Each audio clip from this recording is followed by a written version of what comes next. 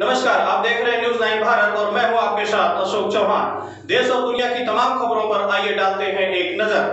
महापौर ने बांटे सुरक्षा गार्डों को मास्क और सैनिटाइजर। दिल्ली में बढ़ते कोरोना संक्रमण को लेकर केजरीवाल सरकार पर लगाया लापरवाही का आरोप। दिल्ली में तीसरी वेब के लिए केजरीवाल सरकार दोषी। सिविक सेंटर में आज उत्तरी दिल्ली नगर निगम के महापौर जयप्रकाश ने सुरक्षा गार्डों को आज मास्क और सैनिटाइजर वितरित किया। इस मौके पर महापौर ने दिल्ली सरकार पर निशान साधते हुए कहा कि दिल्ली आई कोरोना की तीसरी लहर के लिए दिल्ली में बैठी केजरीवाल सरकार दोषी है। अगर दिल्ली सरकार लापरवाही नहीं बरती होती तो आज दिल्ली की यह हालात नहीं होती। संजय सिंह। सिंह की रिपोर्ट। सर दिल्ली में लगातार कोरोना संक्रमण के मामले बढ़ते जा रहे हैं। इसको देखते हुए आज आपने सिविक सेंटर में जो सुरक्षा गार्ड हैं उनको यहाँ पर मास्क और सैनिटाइजर बांटा है। तो इसके पीछे क्या उद्देश्य देखिए लगातार पिछले कई दिनों से हम मास्क बैंक की स्थापना कर रहे हैं। उसमें निःशुल्क मास्क का वितरण कर रहे हैं। हमारा मास्क बैंक जो महापौर निवास से शुरू हुआ था उसके बाद वो दिल्ली पुलिस के सहयोग से बाजारों के अंदर गया। बाजारों के बाद वो सामाजिक धार्मिक संस्थाओं के बीच में गया। उसके बाद हम मेट्रो स्टेशन में अपना मास्क बैंक खोला। और आज हमने जो हमारे सिविक सेंटर है, श्यामा प्रसाद मुखर्जी निवास ये सिविक सेंटर है, यहाँ पर भी मास्क बैंक की स्थापना कर दी है।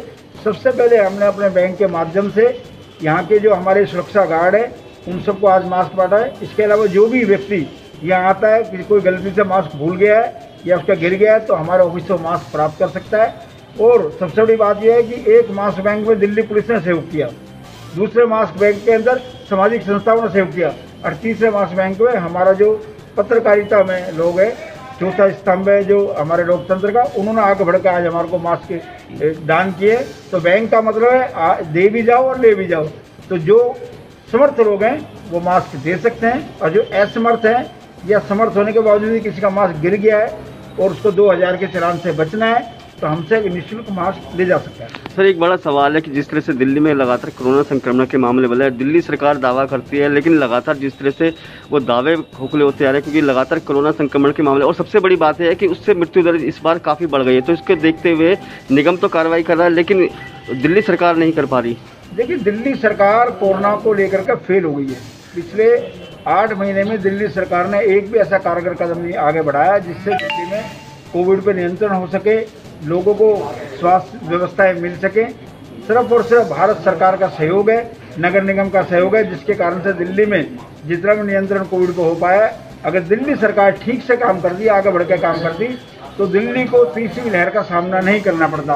आज जहाँ पूरे देश के अंदर कोविड के केस कम होते जा रहे हैं, वहीं दिल्ली में केस बढ़ रहे हैं। जहाँ पूरे देश में जो डेथ रेट है वो कम हो रहा है। वहीं दिल्ली में डेथ रेट बढ़ रहा है। तो दिल्ली और दिल्ली के सरकार के मुख्यमंत्री और उनके सभी विधायक वो सब कोविड को लेकर के बेहद संवेदनशील नहीं है। उनको संवेदनशीलता बनानी पड़ेगी और दिल्ली को बचाने के लिए मिलकर के काम करना पड़ेगा।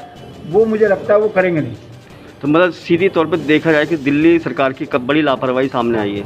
बिल्कुल दिल्ली सरकार की लापरवाही दिल्ली के मुख्यमंत्री की लापरवाही दिल्ली के स्वास्थ्य मंत्री की लापरवाही। अगर ये ठीक प्रकार से काम करते तो दिल्ली को आज जिस परिस्थिति का सामना करना पड़ रहा है, ऐसी परिस्थितियाँ बनती नहीं। लेकिन क्योंकि दिल्ली के मुख्यमंत्री सिर्फ़ और सिर्फ़ विज्ञापनों में, अखबारों में और एड में नज़र आते ज़मीन पर कहीं नज़र नहीं आते तो एड में तो कुछ से कुछ ना कुछ करते दिखते हैं, ज़मीन पर कुछ